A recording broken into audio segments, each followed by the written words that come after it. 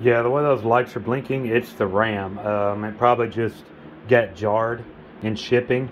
So if you feel comfortable with it, um, it's pretty basic, uh, messing with the RAM, but first take the battery out. Um, just pop it out. Now yours is a little different than this. It's a different model, but I don't have another of your model. But this is what yours looks like.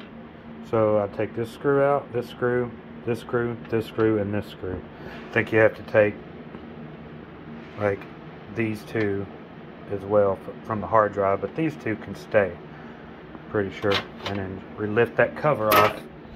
I'm gonna go back to this one. Yours looks pretty similar. Either way, we're just looking at the RAM right here. It probably just needs to be reseated. So, you know, if you can pop those tabs on each side and pull pull it out. If I can get it. Um, and then just put them back in fresh. Just, you know, push it all the way down in there. Each one. See where that lines up and stick it in there. Now that should work. Um, try it out now.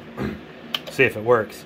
If it doesn't, still doing the same thing, take out one stick of RAM and try it with just one.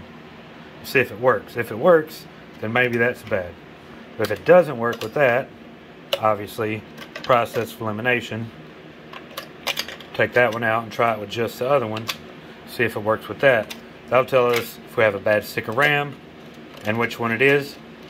But I'm, I'm pretty confident that just reseating that RAM will will do it.